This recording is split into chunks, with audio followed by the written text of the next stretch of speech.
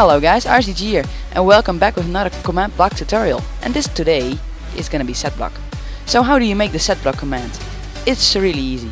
You make it like slash set block, then the x, y, and z coordinates, then tile name, the data value, the old block handling, and at last the data tag.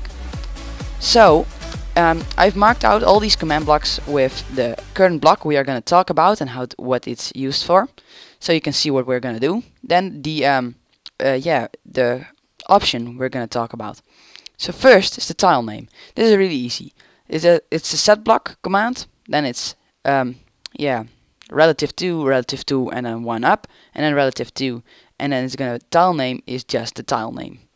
it's just the block you want to do. So this is wool. Um, not about cyan wool. It's just yeah it says cyan wool but it's wool. So but this is stone.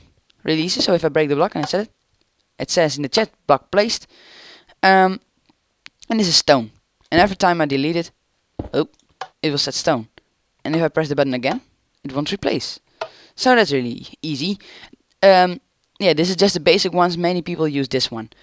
Um, the data value is a bit different. So as I said, wool is just wool. If I just this, did wool, this would go to white wool. When I type the 3, oh, uh, as the data value, I can change it to light blue wool. If I change this to 9, I get this beautiful cyan wool, which is my favorite color. Um, we can do more of the data value, um, as, as, uh, um, such as the stone bricks. We can choose the stone brick 1, which is the mossy cobblestone. And we can do stone bricks 2. It's um, cracked stone brick. And we can also do 0, which is the default. And it's normal stone brick. Uh, same with cyan clay. Um, this this one is a bit more um, uh, different because it has stained hardened clay 14 and this is the red color. And if I, of course if I change this to 9 we get a beautiful cyan color.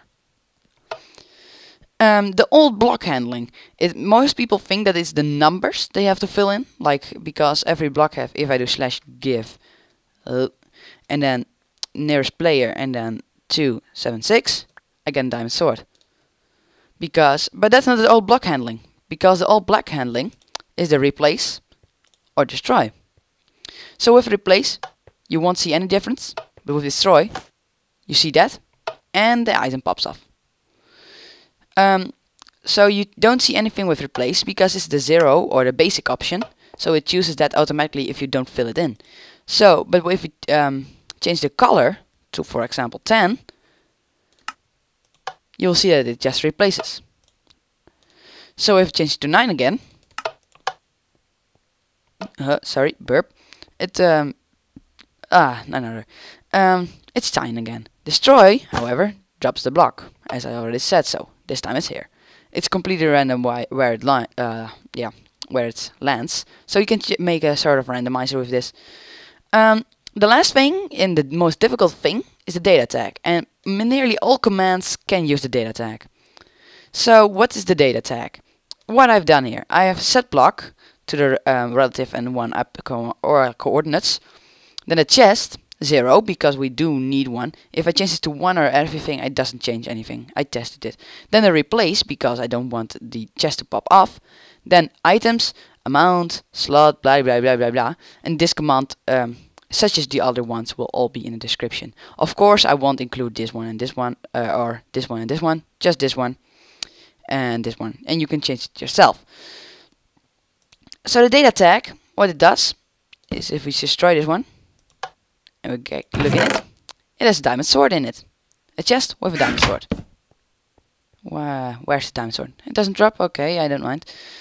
Um, so I can change this to, this is really funny, it's 276 and when you change it to 267, you can hire a sword. Isn't that fun? I love it.